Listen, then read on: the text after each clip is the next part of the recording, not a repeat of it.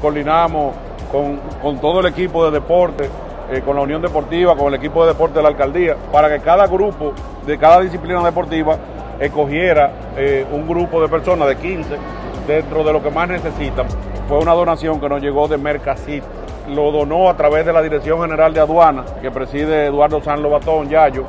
y ellos nos donaron esas cajas